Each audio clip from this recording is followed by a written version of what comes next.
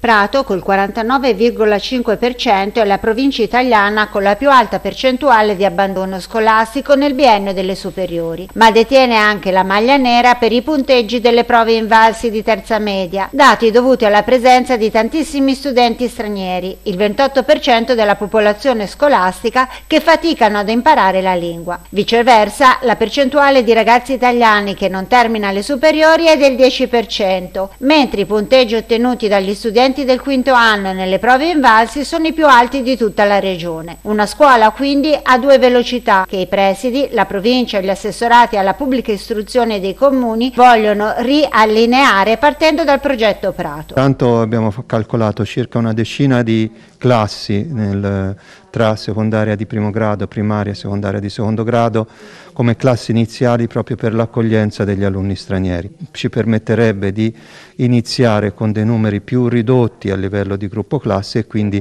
nel corso del tempo eh, poter accogliere eh, gli alunni stranieri che arrivano in corso d'anno. Il progetto è stato presentato al MIUR che ha apprezzato la qualità della proposta ma non sembra intenzionato a finanziarlo. Noi abbiamo necessità che sia risolto il problema cronico di Prato, ovvero di una eh, non adeguata valutazione di quelle che sono le le problematiche del nostro territorio e quindi delle risposte che Roma ci deve dare.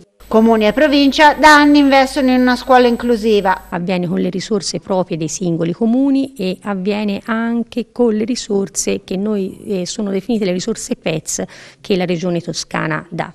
Intanto continua la storica carenza di classi. All'incirca di una sessantina, 70 cattedre che eh, al momento mancano dall'organico.